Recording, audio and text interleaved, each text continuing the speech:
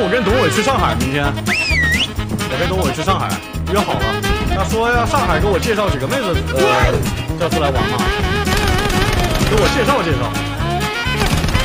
真的假的？对，他说给我介绍。然而